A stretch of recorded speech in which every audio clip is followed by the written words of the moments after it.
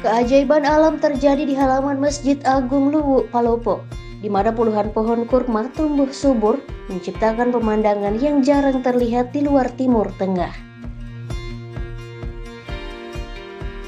Meski tanpa buah, fenomena ini menarik perhatian masyarakat Luwu Raya, khususnya di kota Palopo. Hal yang memukau adalah keberhasilan pohon kurma tumbuh di daerah yang bukan berada di Timur Tengah, yang dikenal dengan gurun pasir sebagai lingkungan alaminya. Meskipun tidak berbuah, keberadaan pohon kurma ini menjadi daya tarik utama bagi warga setempat dan pengunjung masjid.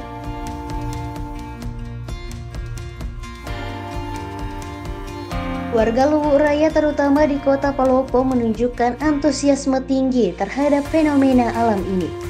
Banyak yang memanfaatkan halaman masjid untuk berolahraga seperti jogging dan jalan santai.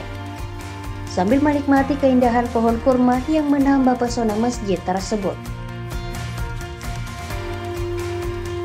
Salah satu pemuda dari Kabupaten Wajo, Akmal Aksa, merasa kagum melihat keberadaan pohon kurma yang tumbuh subur di halaman Masjid Agung Luwu, Palopo. Awalnya mengira itu hanya pohon biasa. Akmal terkesan setelah menyadari bahwa ini adalah pohon kurma yang tidak lazim tumbuh di Indonesia. Ah, meskipun tidak bisa berbuah, setidaknya bisa jadi hiasan dan uh, memberikan suasana adem untuk masyarakat yang ada di sini yang berkegiatan uh, dan kita tidak lagi jauh-jauh ke Timur Tengah melihat pohon kurma secara langsung dan karena sudah ada di sini depan Masjid Agung. Fenomena alam ini tidak hanya menjadi keindahan visual, tetapi juga mengajarkan kita tentang keberagaman dan keajaiban alam yang dapat terjadi di berbagai belahan dunia.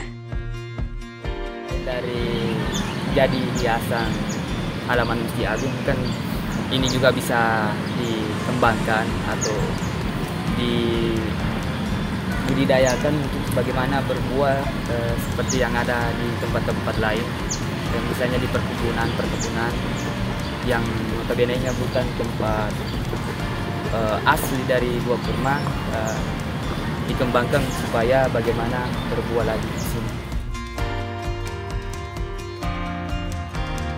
Sulfikri mengabarkan dari Kota Palopo, Provinsi Sulawesi Selatan.